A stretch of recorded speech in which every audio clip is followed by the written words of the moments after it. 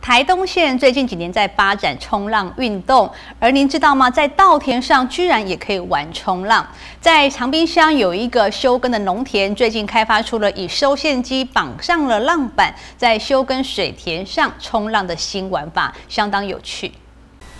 冲浪不是要到海上吗？在长滨乡有一处休耕的水田上，出现了游客尖叫嬉戏声。小朋友们轻松站上冲浪板，帅气的甩尾，大人看了也忍不住想要下水体验。业者表示，海上冲浪要等很久才可以等到浪头，而且要花很大的功夫来学习。稻田冲浪是利用报废的机车引擎改装成收线机，只要握好机车把手，操控收放，就可以让冲浪变得相当容易。而目前也已经取得台湾及大陆的专利。这个创业本身就很喜欢玩冲浪，再加上就是。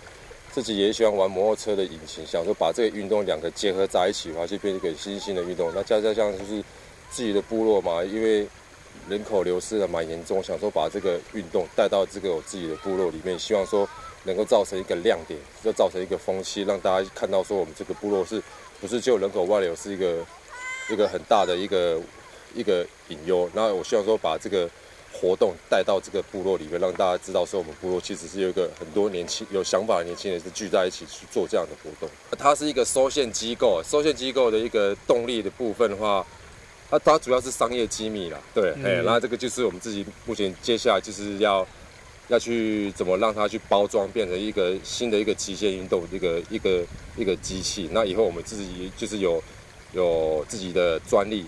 专利有中国中国大陆的专利跟台湾的专利，所以如果有兴趣的朋友们可以跟我们去接洽，这样子这个来到部落体验一下我们部落的生活，深度旅游才是我们要的，让我们部落更多的年轻人回乡，然后我们玩一些套装行程。现在我们部落有慢慢有一些秘境的秘境的地方，可以带客人去